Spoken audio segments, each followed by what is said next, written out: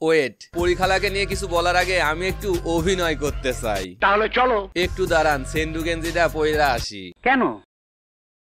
জানি না। Hey guys আমার দরজার সামনে কারা যেন আসছে টক টক করতেছে আমার খুবই ভয় করতেছে। এ বাবা এই বোতলটা ফেলেন না। এ, তো আমার স- তারা বলতেছে যে তারা র্যাব না পুলিশ কিন্তু আমার মনে হচ্ছে তারা ডাকাত সিভিলে আসছে। এ আমাকে মেরে ফেলতে আসছে। মামা জানালা দিয়ে ফেলান না বোতলটা জানালা দিয়ে ফেলান।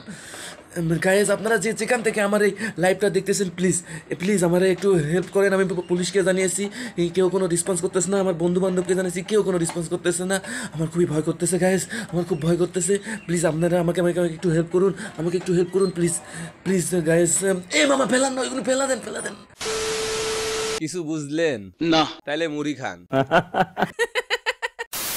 So hey guys this is Farabi back with another পরিখালার video ফালতু ভিডিও হয় এইটাই সো বেশি কাউ কাউ না কইরা ভিডিও শুরু করা যাক। ওই ইন্ট্রো লাগা।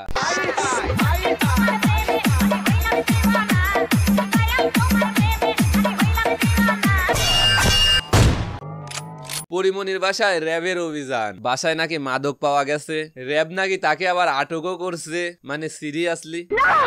আচ্ছা ঠিক আছে। মানে? মানে পরিমণি কি করছে বা ভবিষ্যতে কি করবে সেটা নিয়ে আমার কোনো মাথা ব্যথা নেই। আমার মাথা ব্যথা হচ্ছে থুক্কু মাথা ব্যথা না। র্যাব এবং পুলিশ ভাইদের কাছে আমার একটাই অনুরোধ। এরপরে যখন পরীক্ষালাকে সবার সামনে নিয়ে আসবেন তখন দয়া করে একটু কাপড় পরিয়ে নিয়ে আসবেন। কেন? কারণ ট্রেন্ডিং ইস্যু তো ছোট বড় সবাই দেখবে। তখন যদি দেখে আমাদের পরীক্ষালার এই অবস্থা তখন আমাদের ফিল্ম ইন্ডাস্ট্রির মান সম্মানটা কোথায় থাকবে একবার ভাবেন। জানি না। যাই হোক আশা করছি এইবারও হিরো আলম নিষ্পাপ পরিমণির পাশে থাকবে। কারণ একজন আর্টিস্টের খারাপ সময় আর একজন আর্টিস্ট পাশে থাকবে এটাই তো আমাদের মানবতার উদাহরণ। ওনাদের পরিচয় দিতে পারতেছে না আননোন লোকজন কীভাবে ঘরে ঢুকাবো? এটার ভয় করতেছিলাম। আমি আজকে লাইভ কাটবো না। আচ্ছা পরিমণির লাইভটা তো সবাই দেখছেন তাই না? হ্যাঁ। শুধু দেখলেনই সেখান থেকে কিছু শিক্ষা নিলেন না? না। এইটা ঠিক করেন নাই। কত কিছু শেখালো আজ। এই ধরেন আপনার পাশ থেকে কেউ যদি ফুস করে হাওয়া ছেড়ে দেয় তখন আপনি কি করবেন? সেইটা শিখিয়ে দিচ্ছে।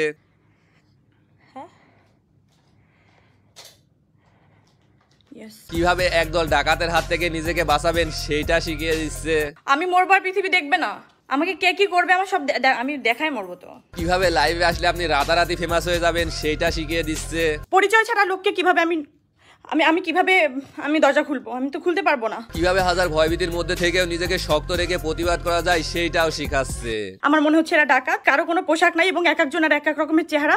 প্লিজ আপনারা যে যেভাবে পারেন আমাকে একটু হেল্প করেন। তারপরও একদল লোক আইসা কানের কাছে প্যান প্যান করব আর কইবো পরীক্ষালা ভালা না পরীক্ষালাও বলে আমি তো ভালা না ভালা লইয়াই থাইকো। তো আমি জিজ্ঞেস করলাম যে কোন থানা থেকে আসছেন কোন পুলিশ? আমি আমি তো জিজ্ঞেসই করব না হলে তুমি হুট করে কেউ একজন পুলিশ বলবে পুলিশ আমি তো খুলে দিব না। সেটাই তো পুলিশ বললেই খুলে দেব নাকি? দেখেন আমি অশ্লীল হতে পারি কিন্তু এতটাও খারাপ না। ওদের মুখে পুড়ে দিচ্ছে মদ খাইতে হবে।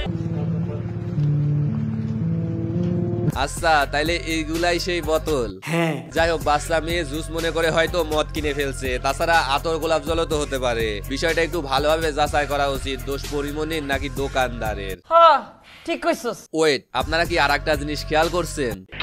এই প্রথম কোন সিনেমা দেখলাম যেখানে নায়িকার বিপদে কোনো নায়ক এগিয়ে আসে নাই। এই তো দেখি আমার সাথে খারাপ। যাই হোক নায়ক আসুক বা না আসুক পরিমণির এই দুদিনে এখনকার উদীয়মান অনেক কবি কিন্তু এগিয়ে এসেছেন। কীভাবে? চলুন তাদের প্রতিবাদগুলো একটু দেখা আসা যাক। তাহলে চলো। ইব্রাহিম বকুল একের পর এক মডেলকে গ্রেপ্তার করায় দেশের চামড়া শিল্প আজ হুমকির মুখে। এদিকে ভয়ে নিচতলা ভাড়া নিচ্ছে না ধনী ভাড়াটিয়ারা। আরে দুঃখে কষ্টে ভারাক্রান্ত জীবন। আইমান আহমেদ নাফি আমি তো মরে যাব ডুইবা যাব সাগরে। পরিমণিকে সায়রা দাও না হয় গ্রেপ্তার করো আমারে। মোহাম্মদ সাগর শাহাদাত পরিয়াপার কিছু হলে জ্বলবে আগুন রান্নাঘরে। লাইভে এসে কঠোর আন্দোলনের ডাক দিব আফা। আপনাকে মুক্ত না করে টয়লেটে না যাওয়ার শপথ করছি। আপনাকে মুক্ত না করে টয়লেটে না যাওয়ার শপথ করছি। খতম। বাই বাই মাইশা হক অবশেষে বিপুল পরিমাণ ভিটামিন ট্যাবলেট এবং সুন্দরবনের খাঁটি মধু সহ নিষ্পাপ মেয়েটাকে নানার বাড়ি নিয়ে গেল র্যাব। এইটা জোস ছিল। আচ্ছা ওয়েট অনেক মজা হয়েছে অনেক ফান হয়েছে এবার একটু সিরিয়াস হওয়া যাক। তুই বেটা একজন নায়িকার নায়িকার মতো থাকবি। তুই কেন খল নায়িকা হতে যাবি? তুই ভালো ভালো অভিনয় করবি সিনেমা করবি। সবাই তোর আর তোর অভিনয় দেখে হাত তালি দিব। তা না তুই এইগুলা করতেছিস? যেটা দেখে সবাই তালি বাজাচ্ছে। হ্যাঁ তালি। কিন্তু সেটা দুই হাতে না।